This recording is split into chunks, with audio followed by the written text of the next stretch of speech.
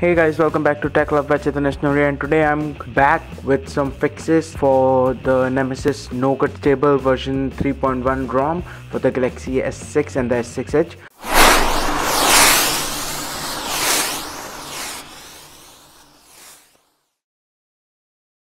So as you know that the animations are beautiful in this ROM but they are a little bit slow and they make the phone seem a little bit slow. So first of all what we're gonna do is we're gonna go in settings and we're gonna go in about device and we're gonna go in software and we're gonna enable the developer mode and we're gonna for that we're gonna tap on build number. You're, you're gonna tap on that until you're gonna see developer mode has already been enabled. So we're gonna go in developer mode now and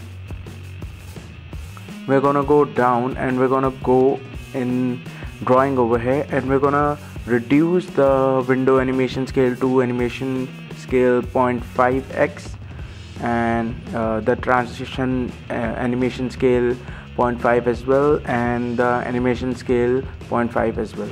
So the device must be running really fast now. So as you can see I just tap on the app and apps icon and it just flies open and recent apps as well. So let me just open a few apps. Now as you can see the animations are really fast and all. And you must have noticed when you go into gallery and play a video. So let me just play a video over here. So let's try that playing this. So as you can see it is showing that unable to play video. So uh, we have a fix for that. And link to that zip file will be in the description. It is a flashable zip file uh, and we only have to flash it. So we're just gonna go into reboot menu over here restart menu and we're gonna go in recovery mode and click ok. Um, and I have already downloaded on my phone so we're just gonna go and flash it over here.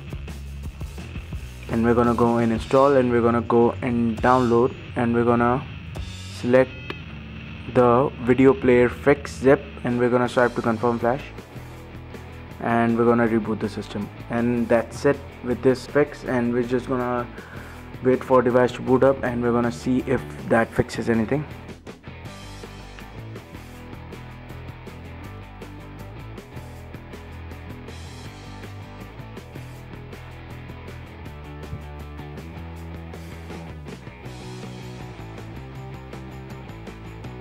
So we're gonna go in gallery once again